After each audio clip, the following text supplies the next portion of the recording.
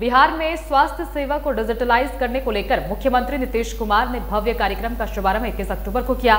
इसके बाद पूरे बिहार में भव्य कार्यक्रम के तहत मुख्य उद्देश्य स्वास्थ्य सुविधाओं को एकत्रित करते हुए डिजिटलाइज करना है। इसी को लेकर महाराजगंज में विशाल कार्यक्रम का आयोजन किया गया।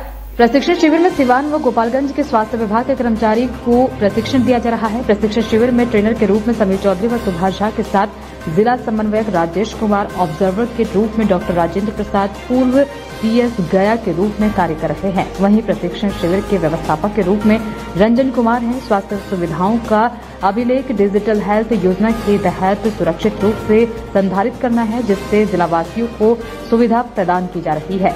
पैरा मेडिकल में जो प्रशिक्षण शिविर चल रहा है, कितने दिवसीय का और इस प्रशिक्षण शिविर का उद्देश्य क्या बेसिकली ये एक डिजिटलाइजेशन बिहार हेल्थ का जो हमारा डिजिटलाइजेशन प्रोग्राम है, भव्या, जो हमारा हॉस्पिटल इंफॉर्मेशन मैनेजमेंट सिस्टम के तहत है, जिसके पूरे स्वास्थ्य विभाग को डिजिटलाइज करना है, उसके प्रथम चरण में लगभग ये 36 डिस्ट्रिक्ट्स में एक साथ हम लोग रजिस्ट्रेशन और फार्मेसी का डिजिटलाइजेशन मॉड्यूल ओपन करने जा रहे हैं। उसी का ये दो दिवसीय प्रशिक्षण यहाँ पर आयोजित किया गया है, जिसमें पूरे गोपालगंज और पूरा सिवान के लोगों का जो यूज़र्स हैं उनके प्रशिक्षण दिए जाएँगे।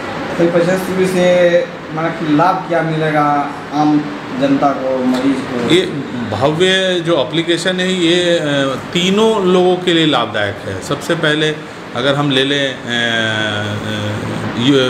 जो हमारे स्वास्थ्य विभाग के लोग हैं जो कर्मचारी हैं उनके काम आसान हो जाएँगे। यहाँ पर कई प्रकार के ऐप्स ऑलरेडी चल रहे हैं। लगभग छत्तीस सैंतीस ऐप्स रनिंग में हैं।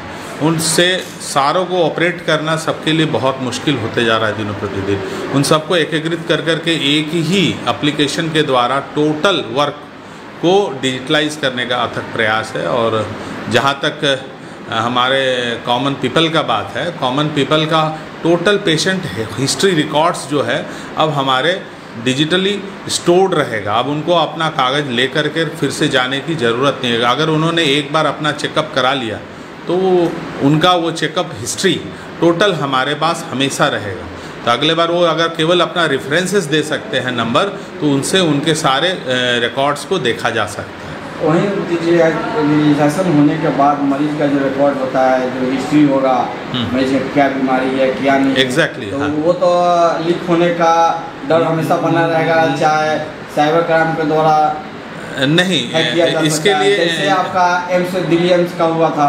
हाँ देखिए मैं ये नहीं बोलता हूँ लेकिन इसकी जो सिक्योरिटी डिजिटली जो भी सिक्योरिटी काउंसिल्स हैं उनके चेक्स के बाद ही इसको लागू किया गया है।